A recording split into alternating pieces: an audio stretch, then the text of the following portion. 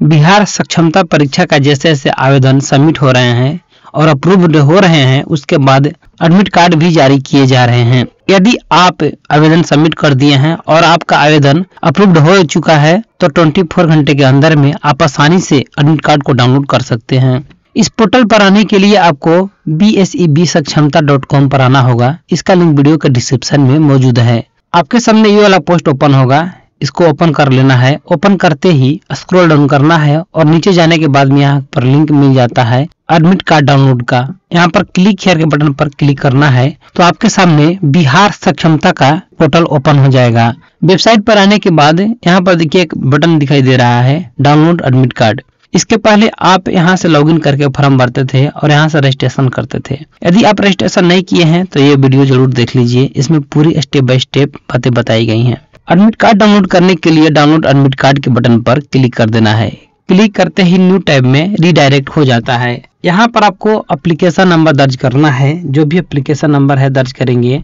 और यहाँ पर डेट ऑफ़ बर्थ दर्ज करेंगे। डेट ऑफ़ बर्थ दर्ज करने का मतलब यह हुआ कि आपको इस फॉर्मेट में डेट ऑफ़ बर्थ दर्ज करना है। वहीं एडमिट कार्ड डाउनलोड करने की जो तिथि है, यहाँ पर मेंशन की गई है कि 13 फरवरी 2024 से 3 मार्च 2024 तक डाउनलोड होंगे। एडमिट कार्ड डाउनलोड करने के लिए यहाँ पर application number date of birth captcha और लॉगिन पर क्लिक करेंगे तो आपको विकल्प मिल जाएगा जहाँ से एडमिट कार्ड डाउनलोड कर सकते हैं। यदि आपको डाउनलोड करने में प्रॉब्लम हो रही है तो एफ़ यहाँ पर दिया गया है, इसको आप रीड आउट भी कर सकते हैं। चलिए मैं आपको बताता हूँ कि किस स्थिति में आपको क्या करना है। यहाँ पर पहला सवाल में बताया गया है how do I download my admit card यहाँ पर देखिए आंसर भी दिया गया है। कहने का मतलब यह है कि एडमिट कार्ड डाउनलोड करने के लिए संगठन की वेबसाइट पर जाना होगा, यानी कि लिंक पर आना होगा। इसके बाद में आप लॉगिन पेज पर क्लिक करके डाउनलोड एडमिट कार्ड यानी कि इस पर क्लिक करके आप एडमिट कार्ड डाउनलोड कर सकते हैं। अगला क्वेश्चन देखिए दूसरा में क्या कह रहा है।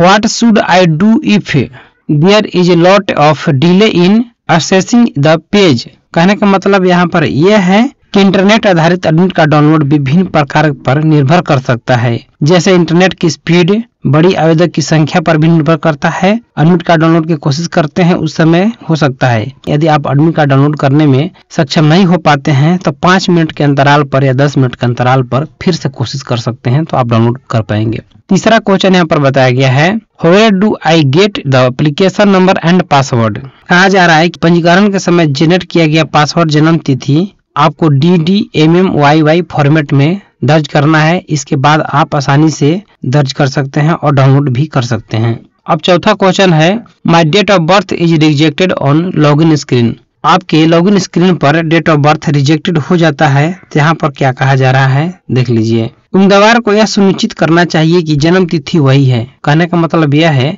कि आप जो जन्म तिथि दर्ज कर रहे हैं वह सेम होना चाहिए और आप ही का होना चाहिए। जो उसने पंजीकरण के समय दी थी, यानी कि आप जो पंजीकरण के समय दिए थे, वही आपके पास जन्म तिथि होना चाहिए। यदि आपको यकीन नहीं है तो आप अपना प्रिंट आउट एप्लीकेशन के देख सकते हैं, जिसके बाद आप लॉगिन कर पाएँगे। अगला पांचवा क्वेश्चन कह रहा है I am unable to log in screen display the log in failed message यदि आपको मैसेज लॉगिन फेल का आ रहा है तो इसका मतलब देखिए क्या कह रहा है। कृपया लॉगिन स्क्रीन में अपनी प्रविष्टियाँ को जांचें। आपको एप्लीकेशन नंबर और जन्म तिथि को सही सही दर्ज करना है। आपको देखना है कि कहीं गलती तो नहीं हो रहा है। यदि आपको यहाँ पर गलती हो रहा है तो आप यहाँ पर सुधार या बदलाव कर सकते हैं। इसके बाद आप लॉगिन करके आसानी से एडमिट कार्ड को डाउनलोड कर पाएँगे।